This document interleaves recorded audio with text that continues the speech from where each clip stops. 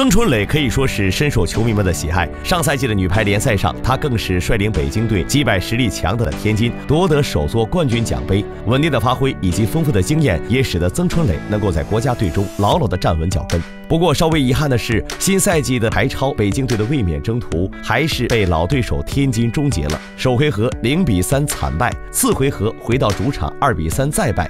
曾春蕾的球队被朱婷、李盈莹接连暴击，最终无缘决赛。客观来说，曾春蕾本赛季的表现不尽人意。如果在东京奥运会前，她不能及时的调整好自己的状态，或将会被其他球员挤掉，无缘郎平的最后十二人大名单。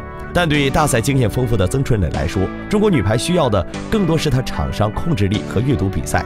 曾春蕾的交叉后排进攻、二号位强攻独树一帜，即便作为接应选手，他的一传及防守功夫也相对不弱。可以说，曾春蕾球风硬朗，气质特别，是郎平还难舍弃的一块瑰宝。此外，曾春蕾还有一个特点是其他队友很难模仿或者超越的，那就是她是一名左撇子攻手。要知道，左手进攻选手司职接应位置具有得天独厚的优势，特别是二号位的进攻能达到右手主攻在四号位的效果。而且，由于二号位的站位特点，对手很难在较短时间内形成双人翼或三人组的拦网质量，这无疑让左手攻球的曾春蕾拥有更多的开火特权。所以，她一定要好好把握这个技术优势，不断精进，在。奥运会这样的大赛中立下奇功，的确，面对中国女排接应位置的激烈竞争。若没有一点真功夫，确实容易被挤下去。比如本赛季又有黑马选手杀出，来自浙江女排的名将朱月洲，个人数据一直名列前茅。此外，接应位置还有其他三大新星先后崛起，毛君怡、孙杰和杜青青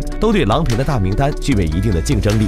而且由于现在的球员能力越来越全面，尤其是在接一传方面，无论是主攻线上的朱婷、张常宁、李盈莹，还是接应位置上的龚翔宇，都是高手，甚至要比曾春蕾还要好。所以三。十一岁的曾春蕾必须解锁到新的能力上限，才能在东京奥运会的舞台站稳首发。